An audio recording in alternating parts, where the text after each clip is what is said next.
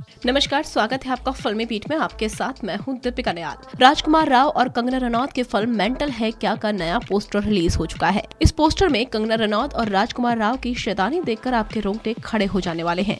Film के इस नए पोस्टर में राजकुमार राव और कंगना एक दूसरे को जीप चुड़ाते हुए दिखाई दे रहे हैं। लेकिन दोनों की जीप के बीच ब्लेड की धार लगी हुई है। इस पोस्टर को देखने के बाद आप सोच में पड़ जाएँगे की जब आगाज़ ऐसा हो तो आखिर अंजाम कैसा होगा? इस फ़िल्म को जल्द ही रिलीज़ किया जाने वाला है। फ़िल्म को मेकर्स 21 जून को रिलीज़ करने वाले हैं। फ़िल्म का पोस्टर रिलीज़ होने के बाद ये तय है कि इंतज़ार आपको भारी पड़ने वाला है। आपको बता दें कि इस फ़िल्म में सालों बाद आप कंगना और राजकुमार राव की जुगलबंदी देखने वाले हैं। दोनों ने इससे पहले क्वीन में भी साथ काम किया था।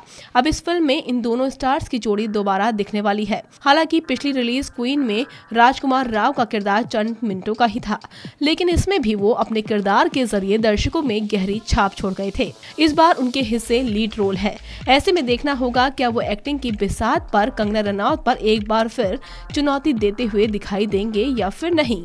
आपको ये भी बता दें कि इस फ़िल्म को निर्देशित किया है प्रकाश कोवला मुंडी ने। वो तेलुगु फ़िल्म डायरेक्टर है, जो इस फ़िल्म के साथ बॉलीवुड में एंट्री करने के लिए बिल्कुल तैयार है। इससे पहले इस फ़िल्म को 25 मार्च को रिलीज़ करने की तैयारी थी, लेकिन बाद में इसकी तारीख बदलकर 21 जून रख दी गई।